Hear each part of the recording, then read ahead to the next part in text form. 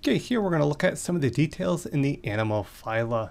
We can see everything from sponges to cnidarians to whales to sea stars to worms all fit into this very large and diverse phyla that we might be most familiar with. So first off, looking at the general features of animals, and I can kind of fit myself in the mix here. Kind of put myself right there because I do qualify uh, as do all humans here. So animals are heterotrophs, meaning they do not make their own food. They need to consume it. Uh, plants and autotrophs are the ones that would make their own food. Animals do not. Uh, multicellular, so they have a mitochondria, but lack a cell wall. As a result, animal cells can be quite flexible. They can move from place to place. They're diploid. They have diverse forms and habitats, as we can just see from the image here reproduce mostly by sexual reproduction, have a common pattern of development, and have unique tissues. So general features of animals. Well, invertebrates account for 99% of all species uh, in the animal kingdom. Most occur actually in the sea. Uh, three phyla dominate animal life on Earth. Um, arthropoda, mollusks, and chordates. So while we may think of kind of, you know, our most favorite animals, or what we think is the most kind of common, uh, Arthropoda is by far the greatest, and invertebrates account for 99% of all species.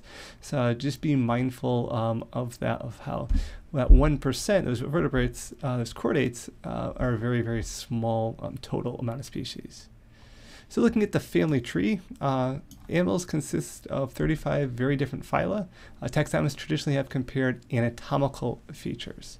The end result, though, is phylogenies. Um, so we're looking at the domain, kingdom, phylum, class, order, family, genus, and species. Here we're looking at the phyla level. Um, so we're looking here kind of at this bar here and we're being more specific. So all animals uh, in this case are in the kingdom Animalia and are all in the domain Eukarya. And we're looking at separating out that phyla to be a little bit more specific. So within this animal family tree here, uh, the traditional animal phylogeny is being revised. Molecular systemics, uh, systematics, I should say, are used uh, uses unique gene sequences to detect relatedness and construct phylogenetic trees. We're getting away from the phenotypic features and getting more into the genotypic features. As a result, this has created new divisions and new ways to divide different things to really see what is connected looking at the genetics of those. Now, the current look here, we can kind of see our um, having tissues or no tissues. So this would be our common ancestor way down here. No tissues going off to the left, tissues going off to the right. So everything here, including or having tissues, sponges or Porifera, not including tissues. Within there, we can have radial symmetry or bilateral symmetry. We're looking at a whole bunch of different other ways to divide things. Uh, there's animals molt, they have protostome development or deuterostome development, uh, different ways, again, to kind of separate things and classify them.